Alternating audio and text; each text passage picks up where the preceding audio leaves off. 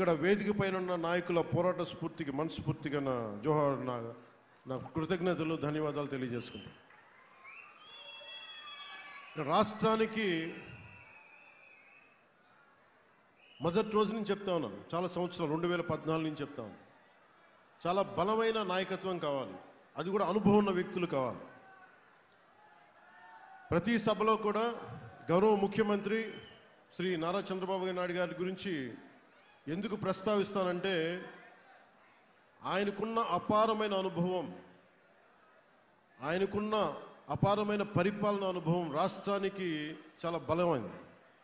అందుకని ప్రత్యేకించి ఒక నాయకుడి తాలూకు కష్టం అనుభవం మనం దాన్ని రాష్ట్రానికి రాష్ట్ర శ్రేయస్సుకి ఉపయోగించుకోకపోతే మనం తప్పు చేసిన వాళ్ళం అవుతాం.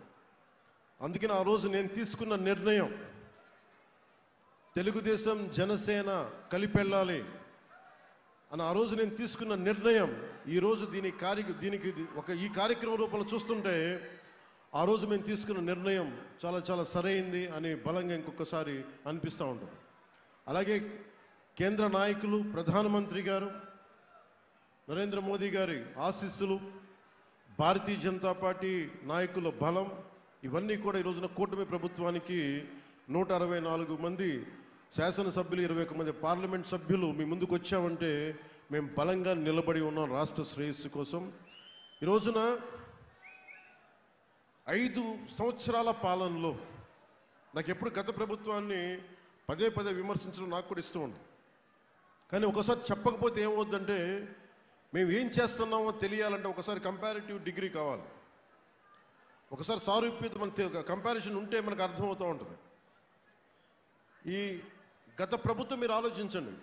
ఐదు సంవత్సరాల పాలనలో ఎవరు పంచాయతీరాజ్ శాఖ మంత్రి ఎవరో తెలియదు అధికార యంత్రాంగం ఎవరో తెలియదు ఏ రోజు సభలు జ- జరపలేదు.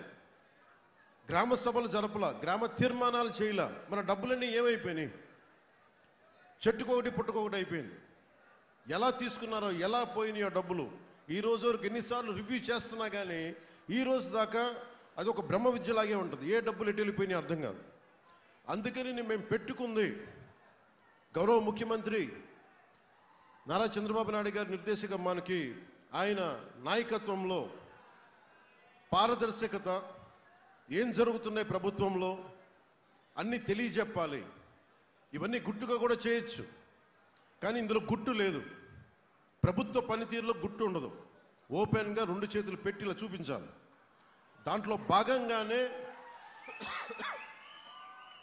ఇవి ఈ గ్రామ సభల్లో తీర్మానాలు కూడా ముప్పై వేల పండ్లు నాలుగు వేల ఐదు వందల కోట్ల రూపాయలు విలువైన పండ్లు.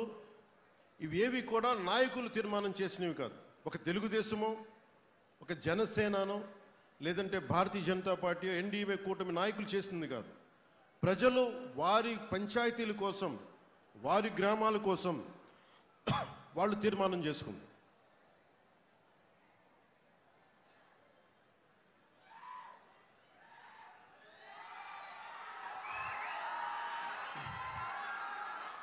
అలాగే రాగానే రివ్యూ రివ్యూస్లో ఒకటి అడిగాం. డిపార్ట్మెంటల్ రివ్యూస్ చేస్తున్నప్పుడు ఆ రోజున శశిభూషణ్ గారు గారు ఉన్నారు. ప్రిన్సిపల్ సెక్రటరీ వారిని ఒకటే అడిగాను. మన డిస్ప్లే బోర్డ్స్ ఎందుకు లేవు మనకి అని. ఒక గ్రామంలో పంచాయతీలో పనులు ఏం జరుగుతున్నాయి? ఎంత డబ్బు ఖర్చు పెట్టాం? ఏ ఏ పనులు ఉన్నాయి? ఇవన్నీ అంటే అది అలవాటు. అంటే ఆయన పాపం నేను చెప్పిన దాన్ని వెంటనే తీసుకొని ఈ రోజున అక్కడ ఉన్నది మీకు శంకుస్థాపన ఎవరు చేశారు ఒకటే ఉంది. అవి కాకుండా మీ మీ పంచాయతీల్లో ఎన్ని పనులు ఉన్నాయి ఎన్ని రకాల పనులు ఉన్నాయి ముప్పై రకాల పనులు ఉన్నాయి ట్రెంచ్లు తవ్వడం దగ్గర నుంచి స్కూళ్ళకి కాంపౌండ్ వాల్స్ దగ్గర నుంచి గోకులాలు బీటీ రోడ్లు సిమెంట్ రోడ్లు ఏ ఏ ప- ముప్పై రకాల పనులకి ప్రతి పనికి సపరేట్ డిస్ప్లే బోర్డు ఉండదు. ఇది ఏం తెలియజేస్తుందంటే ఇందులో గుట్టు లేదు. నాలుగు వేల ఐదు వందల కోట్ల రూపాయల నిధులను విడుదల చేస్తున్నాం.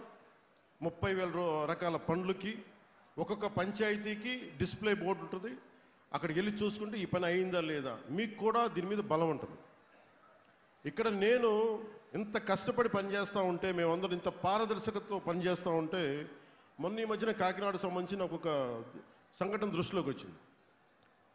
అంటే మేము ఎంత పారదర్శకంగా ఉన్నా కానీ ఎంత నిజాయితీగా ఉన్నా కానీ వ్యవస్థలో కూడా వ్యక్తులు అంతే బలంగా ఉండాలి.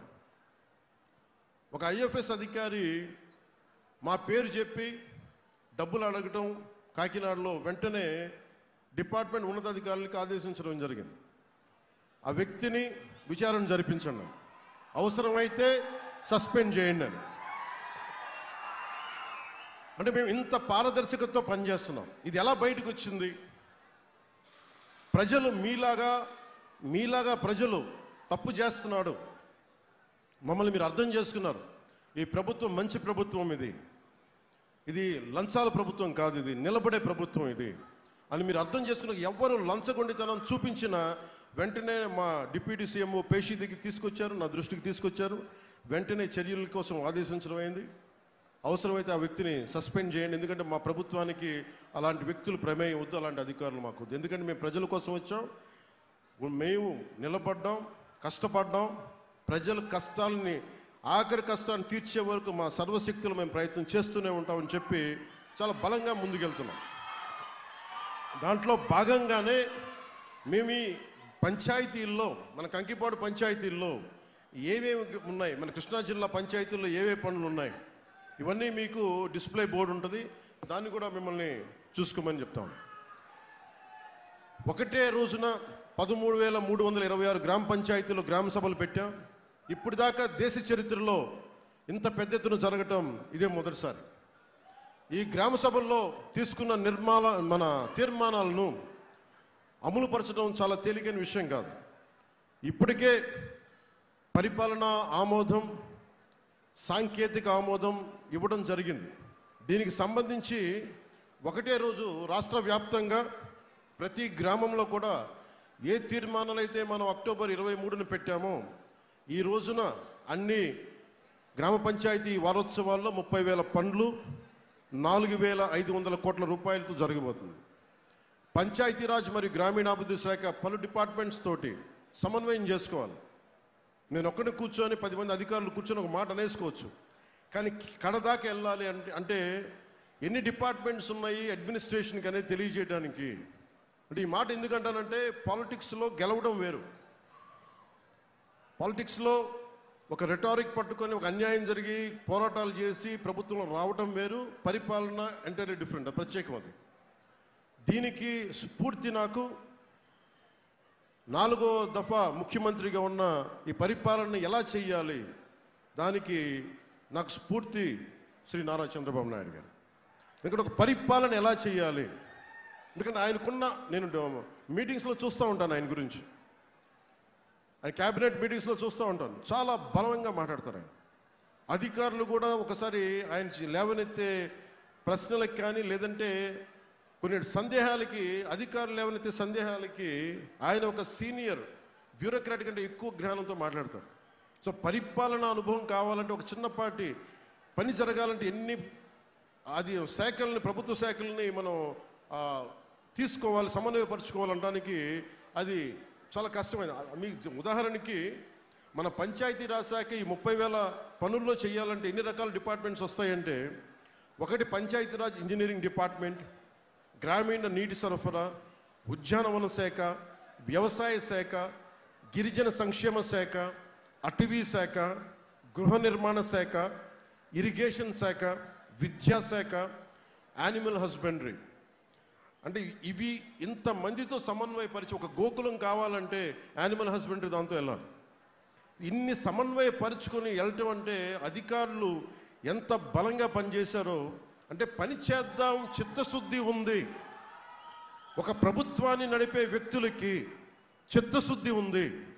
వీళ్ళు ప్రజలకి అండగా నిలబడతారంటే ఈ రోజున రాష్ట్ర గవర్నమెంట్ మనకి ఈ పంచాయతీరాజ్ శాఖ చూపించినది ఈ పది డిపార్ట్మెంట్లు చూపించిన ఈ ఈ స్ఫూర్తి నిజంగా నేను మిమ్మల్ని రెండు చేతులతో మీకు నమస్కరిస్తున్నాను. నిజంగా మీరు అంత గొప్పగా చేశారు. మీరు కనుక పూనుకోకపోతే నాలాంటి వ్యక్తి ఎంత గింజుకున్నా కానీ పనులు జరగవు. కానీ మీరు కూడా ఇది మా బాధ్యతని మీరు చేసినందుకు మనస్ఫూర్తిగా ఇంకొకసారి ఈ పది డిపార్ట్మెంట్స్లో ఉన్న అధికారులందరికీ ఉద్యోగులందరికీ పంచాయతీ పంచాయతీరాజ్ శాఖ ఉన్నతోద్యోగులందరికీ అధికారులందరికీ కూడా మరోమారు నా ధన్యవాదాలు తెలియజేసుకుంటాను.